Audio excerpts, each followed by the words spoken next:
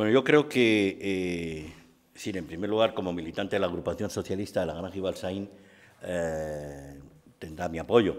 Obviamente eh, hay que respetar las decisiones de todos los militantes. Somos un partido democrático y yo creo que hay muchísimos cargos, unos provenientes del mundo municipal, otros de otro, con otra trayectoria que pueden ser perfectamente candidatos en un partido democrático a unas elecciones para secretario, para secretario general. El posicionamiento de Óscar López de su retirada es, algo eh, positivo. Soy de los que piensa que quien es parte de un problema difícilmente, o por no decir imposible, puede ser la solución.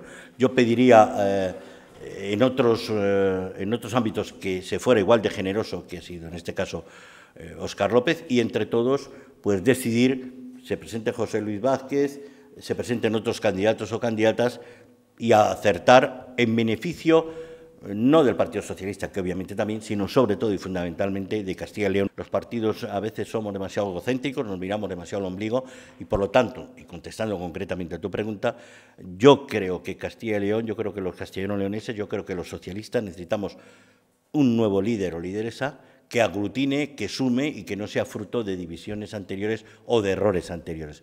Por lo tanto, yo creo que la decisión de Óscar López es acertada y a mí me parece que Julio Villarrevia debería tomar la misma decisión.